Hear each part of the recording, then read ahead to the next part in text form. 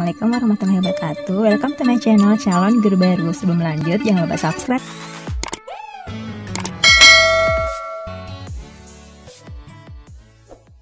Oke teman-teman di video kali ini kita akan membahas mengenai uh, kapan jadwal SKB yang sudah diumumkan oleh pihak uh, eh, BKN.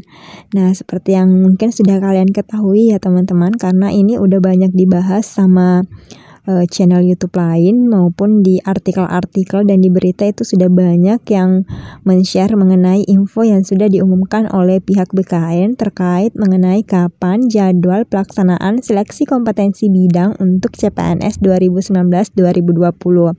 Nah, di sini seperti yang dilansir oleh uh, situs BKN ya, situs resmi dari BKN yaitu bkn.go.id dalam situs tersebut menyatakan bahwa jadwal pelaksanaan SKB untuk CPNS 2019-2020 ini akan dilaksanakan setelah pelaksanaan SKD dari Dikdin 2020 itu terlaksana.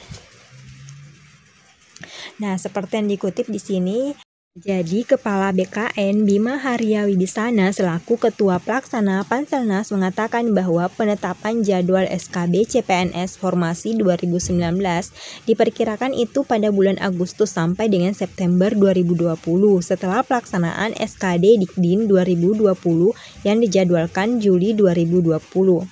Nah, di sini seperti yang dikutip, beliau mengatakan bahwa jika SD jika SKD Dikdin 2020 terlaksana sesuai dengan jadwal yang ditetapkan yakni pada Juli 2020, maka jadwal SKB CPNS formasi tahun 2019 diperkirakan dapat berlangsung pada Agustus sampai dengan September 2020. Namun perlu ditekankan bahwa realisasi jadwal yang disusun Panselnas ini tergantung pada penetapan status kedaruratan COVID-19. Untuk itu, selain menunggu persetujuan Presiden terhadap jadwal yang ditetapkan tersebut, Panselnas juga mempertimbangkan rekomendasi dari gugus tugas pandemi soal status darurat COVID-19. Terang di dari aspek kesiapan infrastruktur pelaksanaan tes, Deputi Bidang Sistem Informasi Kepegawaian BKN Bapak Suherman memaparkan bahwa soal antisipasi metode pelaksanaan seleksi dengan sistem CAT bila digelar di masa pandemi COVID-19. Suherman menyebutkan bahwa BKN saat ini melakukan coba atau stress atau stress testing sistem CAT online sebagai antisipasi pelaksanaan SKD Dikdin tahun 2020 dan SKB CPNS formasi tahun 2019. Dari sisi pelaksanaan secara teknis, kami sudah mencoba antisipasi metode tes pelaksanaan SKB CPNS 2019 dan SKD Dikdin 2020. Salah satu yang sudah diuji coba adalah pelaksanaan ujian CAT pada seleksi jabatan pimpinan tertinggi atau JPT Kementerian Agama dengan menggunakan metode CAT online pada 12 Mei 2020 lalu. BKN juga terus melakukan pemuktahiran secara sistem dan teknologi untuk pelaksanaan seleksi secara massal di masa pandemi COVID-19 seperti ini, jelas Suherman.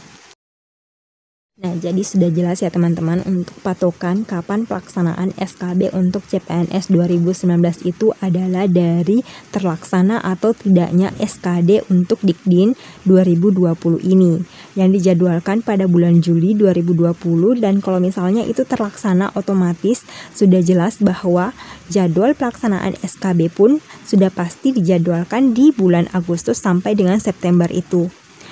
Tapi ini masih belum jelas ya teman-teman karena kan mereka masih melihat bagaimana situasi uh, eh, COVID-19 apalagi uh, sekarang ini kan makin hari makin bertambah aja tuh uh, pasien yang positif. Belum ada tanda-tanda uh, pengurangan atau tanda-tanda berkurangnya pertambahan pasien yang positif corona tersebut. Jadi kita berdoa saja semoga pandemi COVID-19 ini segera berakhir dan semua kembali normal. Jadi kalian tetap saja jadi kalian tetap harus semangat belajar, jangan sampai kendor ya teman-teman ya setidaknya satu hari kalian jadwal kalah satu jam atau minimal 15 menit lah untuk mempelajari materi untuk SKB sesuai dengan formasi yang kalian lamar. Oke teman-teman, eh, Demikian info yang bisa saya share kepada kalian. Semoga info ini bermanfaat untuk kalian dan tetap semangat belajar dan menjadi CPNS 2019-2020. Oke, sekian video untuk hari ini. Thank you for watching. Jangan lupa subscribe, like, comment, and share. Assalamualaikum warahmatullahi wabarakatuh.